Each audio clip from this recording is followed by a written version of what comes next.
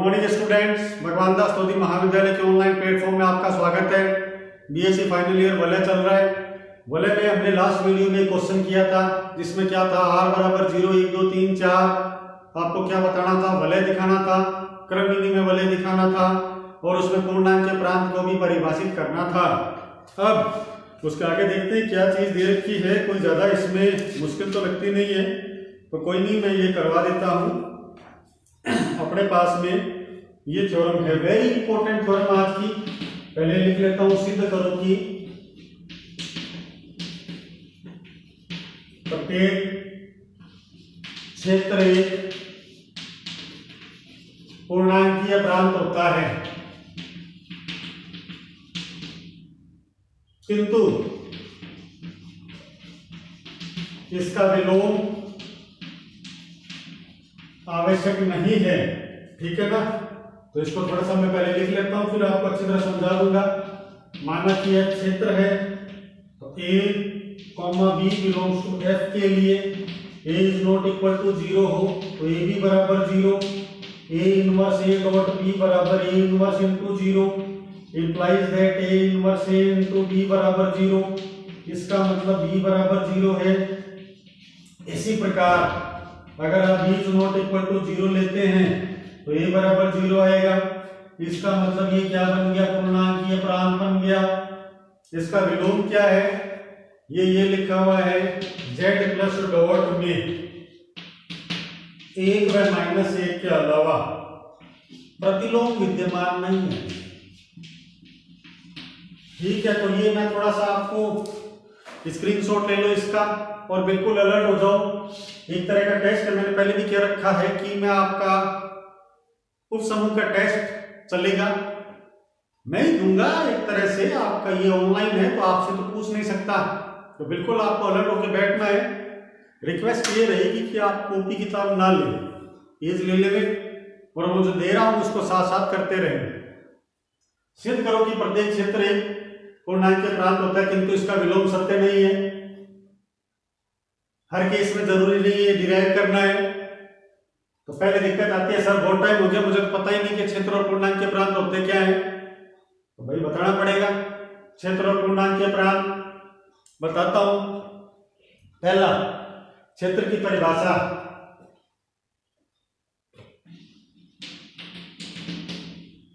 पहला तो क्या आना चाहिए आर वन प्लस का आबेली समूह आना चाहिए।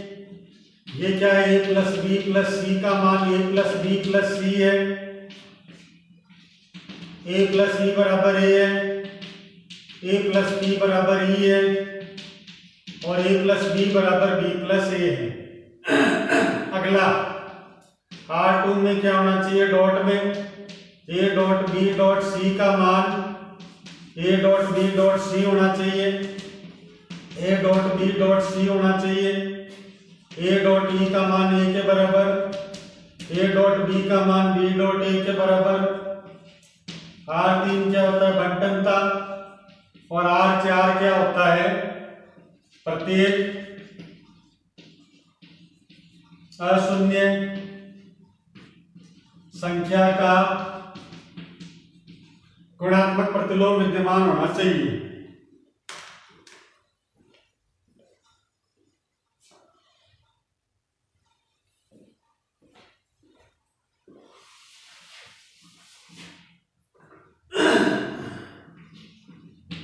आर थ्री क्या है? बंटनता और आर चार क्या है?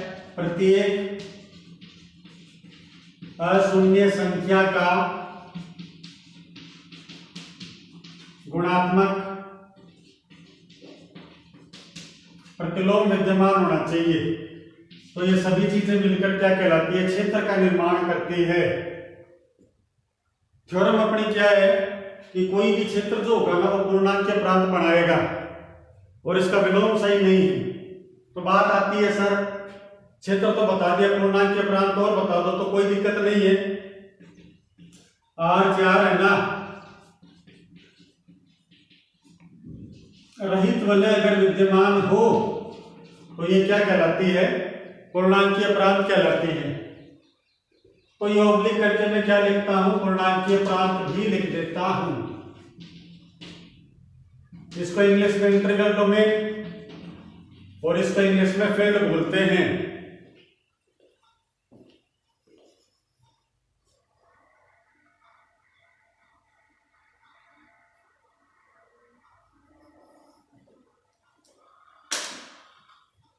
अब थ्योरम का स्टेटमेंट पढ़ो।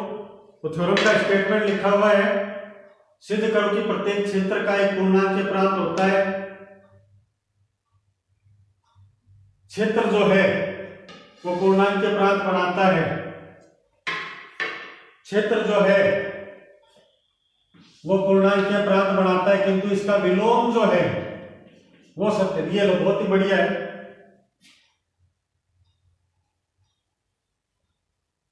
तो क्षेत्र की परिभाषा क्या होती है? वो ये आर प्लस में अबेली होना चाहिए। A plus B plus C बराबर A plus B plus C है। ए प्लस सी बराबर ए है।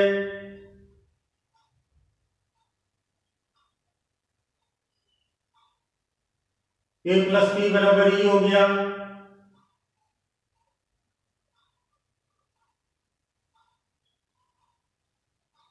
ए प्लस बी बराबर बी प्लस ए है। A dot B dot C बराबर A dot B dot C साचर्यता गुणन का। ए डॉट ई बराबर ए है। ए डॉट बी बराबर बी डॉट ए क्रम विनिमय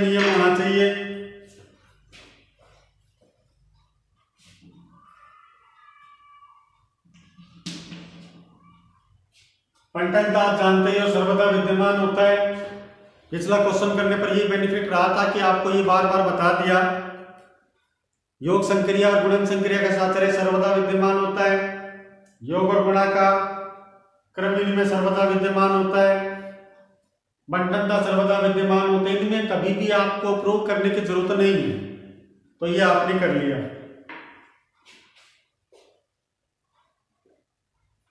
अगर आर चार प्रत्येक शून्य संख्या का गुणात्मक प्रतिलोम विद्यमान हो। तो ये क्या कहलाता है? क्षेत्र कहलाता है, फ़ील्ड कहलाता है। और अगर रहित वलय विद्यमान हो तो ये क्या कहलाता है? पूर्णांक के प्रांत कहलाता है। थ्योरम का स्टेटमेंट क्या है? सिद्ध करो कि प्रत्येक क्षेत्र एक पूर्णांक के प्रांत होता है, किंतु विलोम आवश्यक नहीं है। पहले क्या मानना पड़ेगा? हमें क्षेत्र मानना पड़ेगा। माना यह क्षेत्र है। ए और बी बिलोंग्स टू एफ़ के लिए A is not equal to zero हो। ए और बी का गुणा ज़ीरो कर दो ये, क्योंकि रहित वाले के लिए, ये तो अपने को लेकर ही चलना पड़ेगा। पूर्णांकीय प्रांत के लिए हमें क्या दिखाना है? रहित वलय उसके लिए क्या करना पड़ेगा? रहित वलय की परिभाषा याद होनी चाहिए। रहित वलय की परिभाषा क्या होती है कि अगर ए और बी का मान ज़ीरो हो तो या तो ए ज़ीरो आ जाए, या बी ज़ीरो आ जाए, ठीक है ना? तो ये तो लेकर ही चलना पड़ेगा, ये तो अपने को मानना ही पड़ेगा। मानना ए बी बराबर ज़ीरो दोनों साइड में इनवर्स की गुणा कर दी, क्यों? क्योंकि प्रतिलोम अवयव विद्यमान है। इसलिए हमने क्या किया? दोनों साइड में इनवर्स का गुणा कर दिया।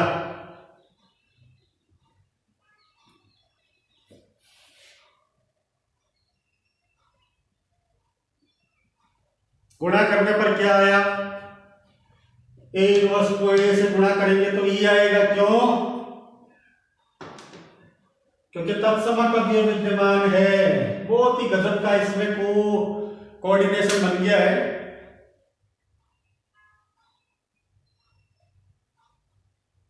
बी की वैल्यू ज़ीरो आ गई। एक ज़ीरो नहीं लिया था, दोनों का गुणा ज़ीरो आ रहा है, लेकिन दूसरा ज़ीरो नहीं है। तो ये क्या कहलाता है? रहित वलय। इसी प्रकार से अपन क्या करेंगे? B is not equal to zero लेकर ए बराबर ज़ीरो को डिराइव कर देंगे। तो ये चीज़ क्या कहलाएगी? क्षेत्र है जो पूर्णांक के प्रांत बना गया। क्षेत्र जो है, इसका मतलब ये क्या है? पूर्णांकीय प्रांत है।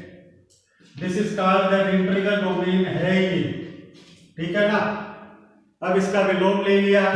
विलोम क्या होएगा? पूर्णांकीय प्रांत को क्षेत्र सिद्ध करना है। पूर्णांकीय प्रांत को क्षेत्र सिद्ध करना है। तो हमें क्या दिया हुआ है? रहित वलय। इसको क्षेत्र दिखाने के लिए मुझे क्या करना पड़ेगा? प्रत्येक शून्य संख्या का प्रतिलोम विद्यमान करना पड़ेगा। तो ये विद्यमान करने के लिए क्या करेंगे अपन? एकमात्र ऐसा एग्ज़ाम्पल ढूंढ लो जिसमें नहीं है। ये लिखा हुआ जेड प्लस डॉट है। पूर्णांकों का समुच्चय ले तो एक और माइनस एक के अलावा किसी का भी प्रतिलोम विद्यमान नहीं होगा, इसलिए इसका विलोम सर्वदा सत्य नहीं है। ठीक है? कट कर दो।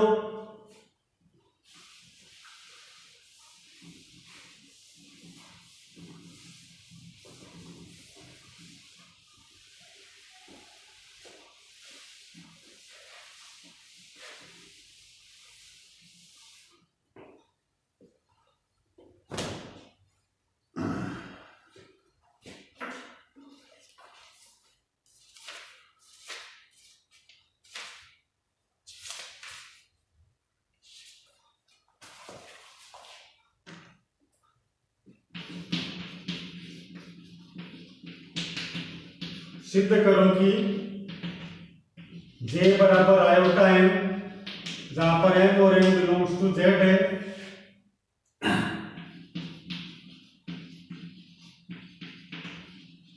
सम्मिश्र संख्याओं के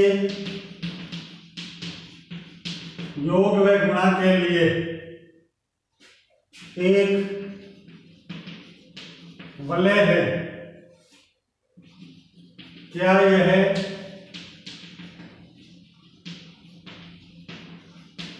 पूर्णांकीय प्रांत है। क्या यह क्षेत्र है? ये अपने को पूरा ही डिराइव करना है।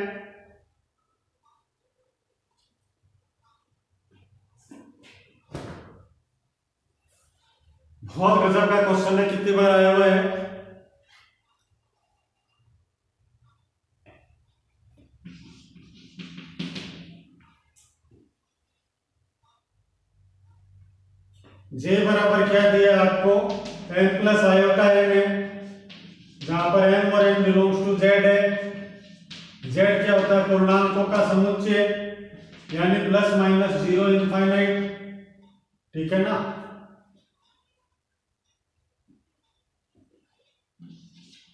पूर्णांकों का मतलब क्या होता है? पूर्ण अंक।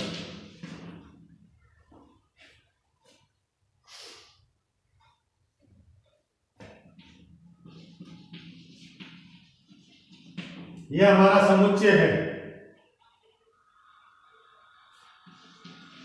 सबसे पहले हमें सिद्ध क्या करना है? वलय।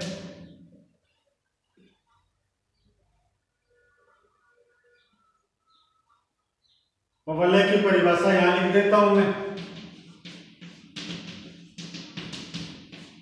पहला आर वन प्लस का क्या होना चाहिए? आपेली समूह होना चाहिए।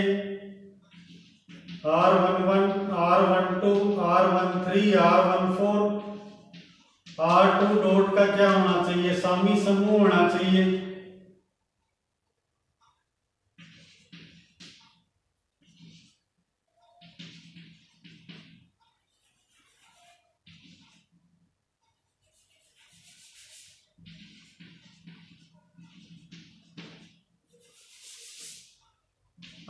तीन बंटनता है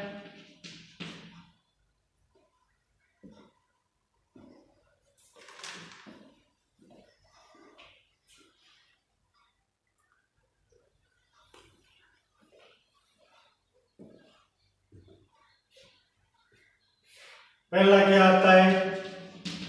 A plus B plus C बराबर A plus B plus C A plus E बराबर ए ए प्लस पी बराबर ए और ए प्लस बी बराबर बी प्लस ए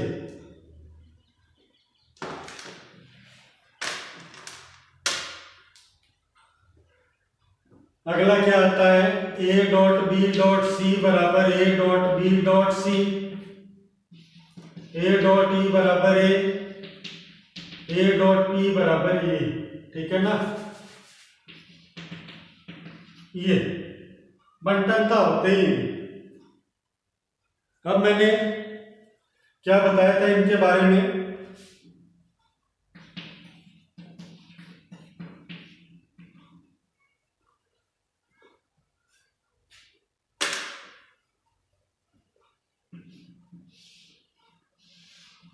हमें करना योग में गुणा के सापेक्ष। एक वलय और आगे बताना क्या ये पूर्णांक के प्रांत है, क्या एक क्षेत्र है?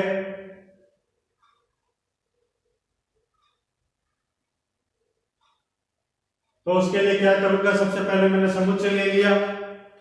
और मैंने बात एक पहले बताई थी कि हम क्या लिखेंगे।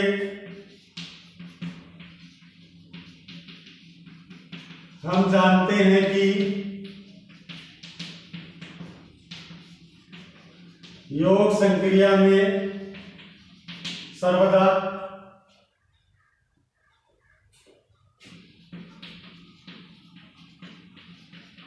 सातरे नियम व क्रम विनिमय नियम विद्यमान होता है।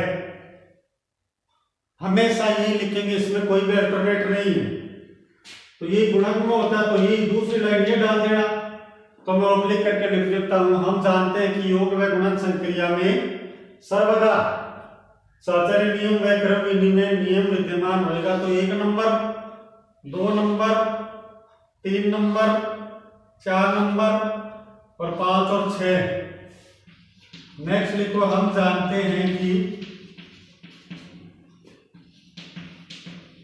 योग व गुणन संक्रिया में बंटनता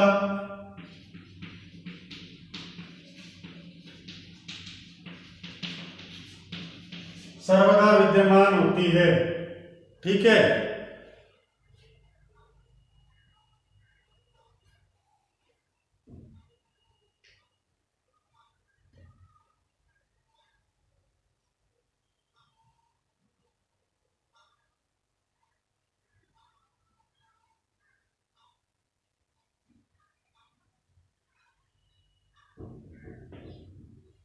ये भी हट गया। बचा कौन सा ये? चूँकि योग का प्रतिलोम कितना होता है? ज़ीरो। यानी शून्य। ये बिलोंग्स टू कैपिटल जेड होता है पूर्णांकों के समुच्चय में।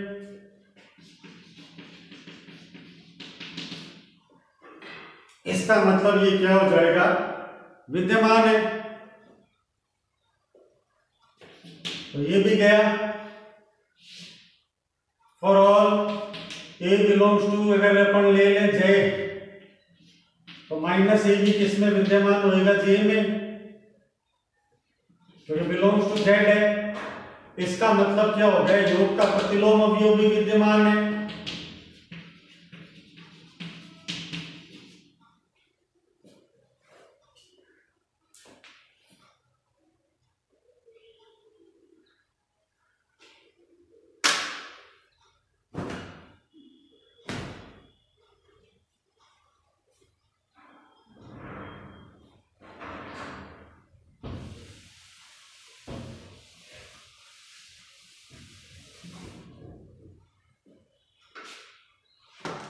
अगला।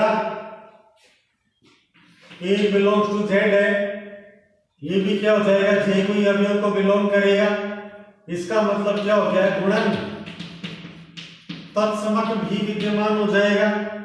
तो इससे वलय तो कंफर्म है। वलय का तो कोई तोड़ ही नहीं है। इसका मतलब क्या हो जाएगा? जे जो होगा। इसका तात्पर्य क्या हुआ?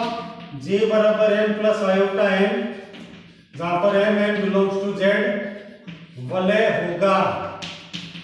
ठीक है? पहले तो ये लिख लो, आप अच्छी तरह। इसको मैं मिटा रहा हूँ।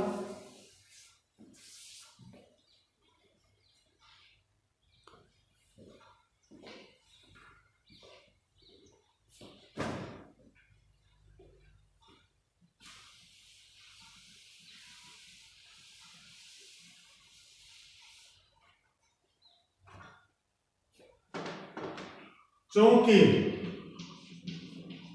शून्य। विद्यमान है तथा ज़ीरो को चार से गुणा करेंगे बिलोंग्स टू जेड है।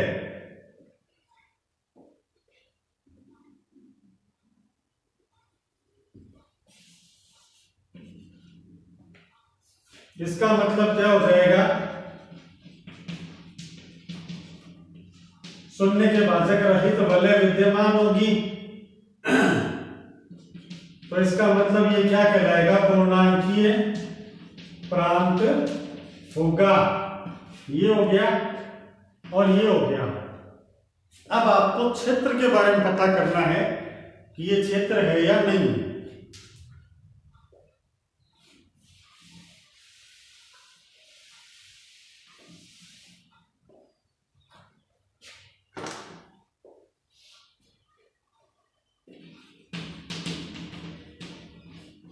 क्षेत्र सिद्ध करने के लिए अपने को क्या दिखाना पड़ेगा?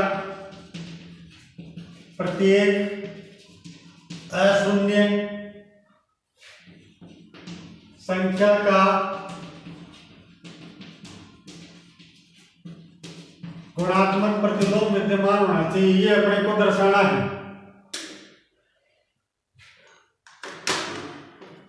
ठीक है? इसी को ले लेते हैं। A plus iota B belongs to J है, जहाँ पर ए और बी दोनों जेड को बिलोंग कर रहे हैं।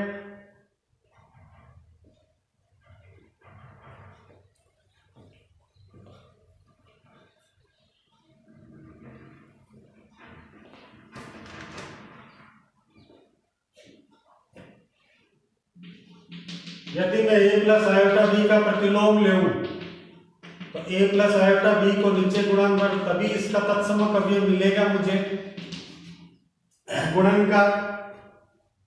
तो ये बी क्या हो गया? इसका तत्सम कव्य प्रतिलोम हो गया ए प्लस आयोटा बी किंतु इसको तुरंत ऊपर ले जाने के लिए ए माइनस आयोटा बी का ऊपर नीचे गुणा करूँगा।